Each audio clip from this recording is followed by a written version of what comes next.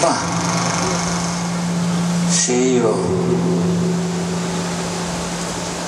lo incontrerò, ma anche adesso perché probabilmente lui mi sta sentendo, dico, ma Federico, ma perché ci morti? Dove che? Dove che ci morti?